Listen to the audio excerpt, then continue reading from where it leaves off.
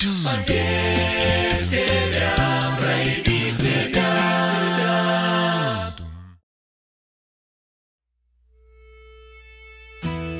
Иногда нам кажется, что судьба наделила нас меньшими, чем у других талантами. А может, нужно просто принять то, что дано природой, и использовать это с максимальной пользой для себя. Нужно дарить свой талант другим. И если ты поверишь в себя, в тебя поверят все.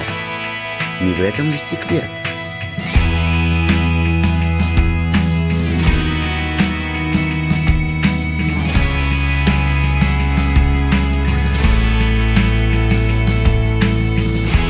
Поверь в себя, в свои идеи, в свой талант, и ты сможешь больше, чем думаешь. Поверь в себя и прояви себя.